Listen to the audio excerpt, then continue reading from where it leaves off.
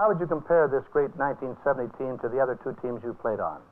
I would say that the 1970 team is, is probably the better of the three teams, primarily because of the great success Joe Theismann and Tom Gatewood have had, and because of the fine effort of the defense in the first nine games, with their only letdown coming against Southern California. Tom, you've caught more passes than, than any junior in Notre Dame history. Has this led to a lot of different type coverages by the defense? My success this year has been primarily attributed to uh, the great preparation that I've received uh, from the coaching staff at Notre Dame. I've also been lucky enough to have uh, such a great quarterback as Joe Theismann to uh, throw to me. Joe Theismann's had a fantastic year this year, and uh, it's helped our combination, the so-called Theismann Gatewood combination, and it's, made it easier for me to have a seasoned, experienced quarterback like Joe uh, to work with, and uh, it makes our passing attack that much more fluid. And our offense sort of revolves around the passing attack.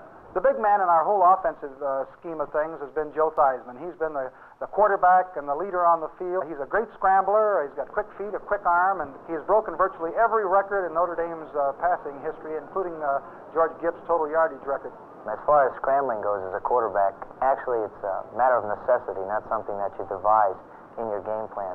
I myself don't particularly care to scramble because as I get older, I get a little more fragile.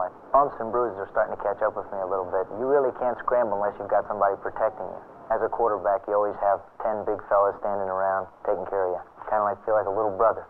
Our personnel, uh, particularly Walter Patulski, number 85, our defensive left end, has had an outstanding season, and we think he's a very fine football player.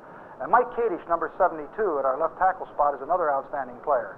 In the secondary, uh, Ralph Stepaniak, uh, number 21, has made some great plays. And Mike Crotty, who was switched over from offense a year ago uh, to the defensive phase of the things, has been a great safety man. Uh, Clarence Ellis, is, uh, our number 23, has been a boy that swung back and forth with the leading receivers of our opponents. And he's had a challenge every week. And of course, uh, he'll once again be challenged in this Cotton Bowl game against Texas. And of course, we're looking forward again in 1971, January 1, of participating in one of the great bowls in this country, the Cotton Bowl Classic.